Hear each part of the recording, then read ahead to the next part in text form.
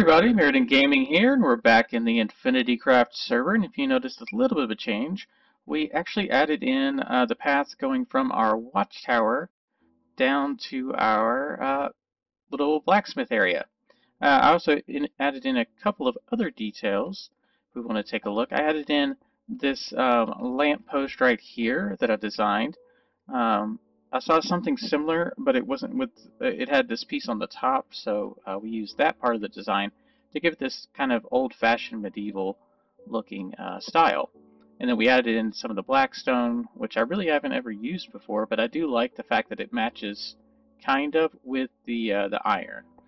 Um, and then the other thing uh, that I added, which I'll show you how to build that in just a second, um, was the bridge, uh, going from here uh, down our path over to our blacksmith area. Um, I really liked this design. Uh, it's kind of robust, uh, but we'll probably use this quite a bit throughout our kingdom here uh, because we will be bridging the gap between other, um, you know, other areas like that area over here, this area here, and over there as well. Um, and we'll probably use this same, same similar kind of design on staircases. Uh, so, you know, it kind of has a, a similar flow throughout our entire uh, kingdom. And then the other thing we did, of course, was we also linked up the um, the storage area here, which, if you've noticed, I've actually gone through and added in all the chests. So we've got all those chests in. I don't know if I finished off the bottom area, but we finally had enough wood. Uh, now, see, I've still... You wouldn't believe how much wood this actually requires. It's a lot. Because, um, like, basically, one stack is, you know, just half of this area here. But yeah. Anyway, um, I'm still going to figure out what we're going to do for our entrance into our storage area. I still don't, like, this works for now, but I, I still want to, like, finish out with the stone brick all the way through. Uh, using the mossy cobblestone and the mossy stone bricks as well. Um, throughout our thing to give it, you know, a little bit more definition because we still haven't done that with this because I don't have the vines yet, I believe. Or did I get vines? I think someone gave me some vines at some point. Yep, someone did. So we just actually need to grow these uh, so that we can have uh, the vines. In fact, you know what? Let's go ahead and place these. We can just uh, grow them here inside our area. We just pop those up at the top. Same here and here. Uh, those will just grow down and we will be able to harvest them using our shears. Now onto the point of building the uh, lamppost and the bridge. Uh, we're going to hop over into our creative world so I can show you how to build it there. So I'll be right back. Alright, so we're in our creative world and I went through a few different designs as you can see here trying to get um, an interesting bridge design. I kind of liked that one, but I felt like this took up too much of the water uh, to allow it to flow. And that would be more of a larger bridge design probably. And then here are some of the other options we had for lamp posts. Um, this, oop, didn't mean to do that. Uh, let's see, I think it's one of these. So this one here was using the black stone and the standard stone. Uh, that's just a very basic one, and I felt like these hung down too much. I do like the addition of the chains, though. I was trying to figure out a way to use them, but I really couldn't. Um, this one I like the fact that you can use these levers as supports, and that you and you can see that you can kind of change out the wood and the trapdoors depending on what will best fit your specific build. So if you're using a lot of that crimson wood, you can use it instead. And then another good option is the iron trapdoors because those will um, give you that white texture. Uh, and then this is exactly as we built it in our world, but you could also replace some of these, depending on how tall it is, with the wood as well uh, to give you a different kind of color combination. I just felt like this didn't look sturdy enough to just support the uh, the top here. I, I, did like the stone, so that's what I went with. Of course, you could swap up the colors using the black stone for this um, instead of uh, the standard stone, but uh, I went with you know the combination because it kind of draws the same kind of color combinations from the top to the bottom. Alright, so uh, let's take a look at the bridge first. Uh, let me throw this away. Don't need that. Alright, so the only things you're going to need are lanterns, some slabs, some stairs, oak logs, and chiseled bricks. um, which we've got a section of it here anyway, but uh, we'll go ahead and go through. So basically, uh, what you're going to do is, uh, for each section of the bridge, uh, this is going to be, you know, however tall you want to be above the water. We're just going to do three, because uh, that's one of the easiest ways to do it. And then you go count out three, and then another log pillar. That's what gives us our design here. Um, yeah. And then we come around the bottom. We're going to place out our brick stairs. Just like so. That gives it, you know, the support. And then uh, in between the pillars, we're also going to have uh, three. So one, two, three, and right like that. Uh, you don't necessarily have to have these all the way around, um, but it does look nice, especially on the outside uh, edges. So it just kind of depends. Well, it also helps if you place it right. Why will that not place right? There we go. And of course you can spread this out further or make these uh, bigger, uh, but I, I did like the design of how far these were apart here. All right, and then the, next thing we're going to do is we're going to place our slabs. They're going to come in right at the top level of, oh, did that wrong, right here between the all the pillars. Um, and actually, I think the pillar needs to go up one more for the level. Like so. All right, and then what we're going to do is we're going to place a stair facing kind of in and up on this side and on this side. And a slab in between. So that gives us that kind of see-through area.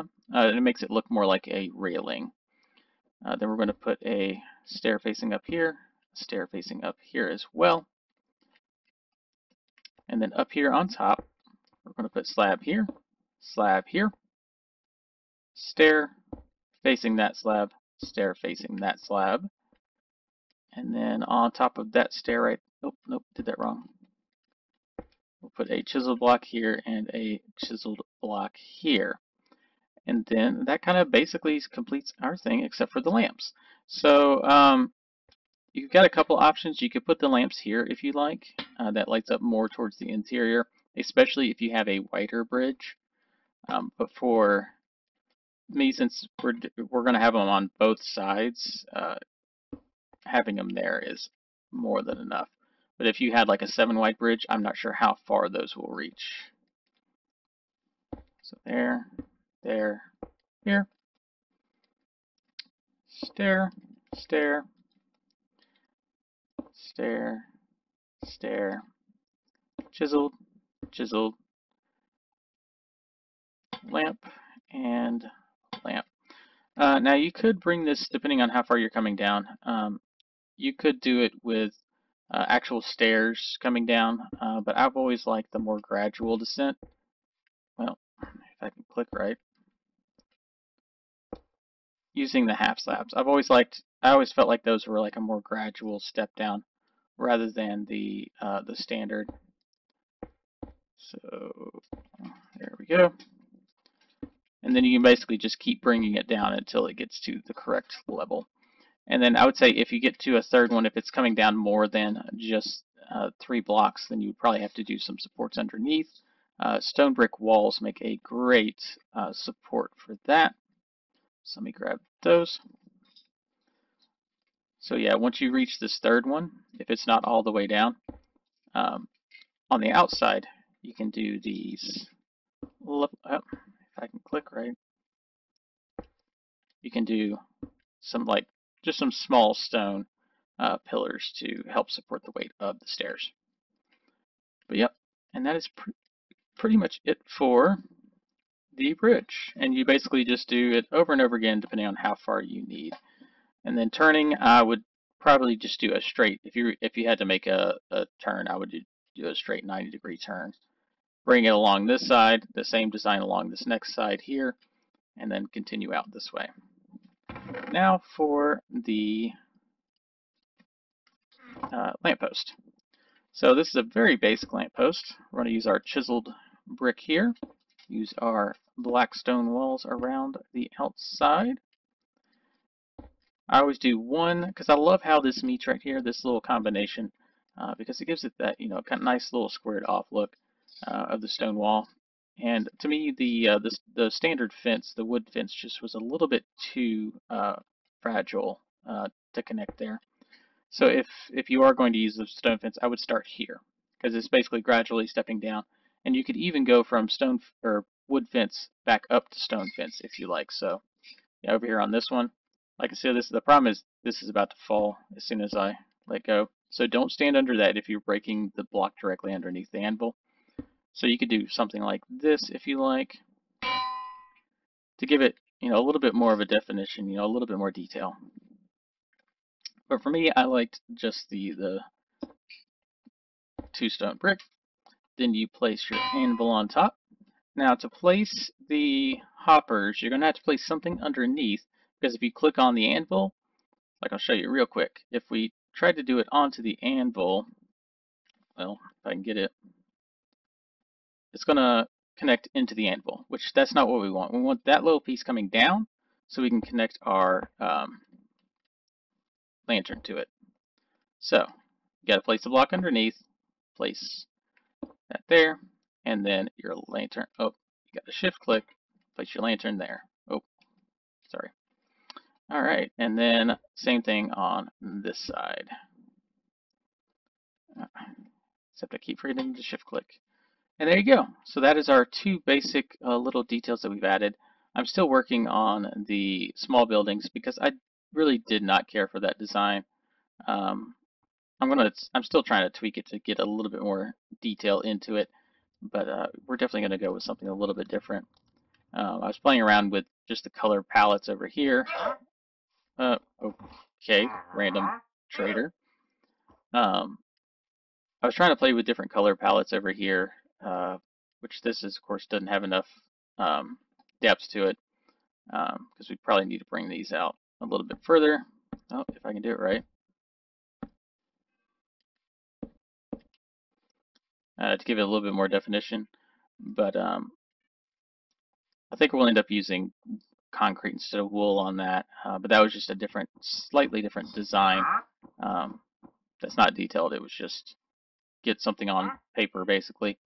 But yeah, anyway, uh, this is Myrodin Gaming. Don't forget to like, share, subscribe, and hit that little bell notification icon so you can see all my videos.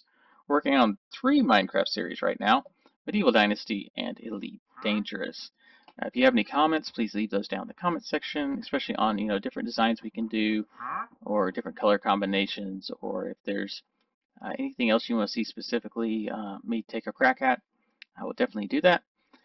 And anyway, this is Myrodin Gaming, and I'll see you on the bridge, or at the lamppost, or in the survival Minecraft world.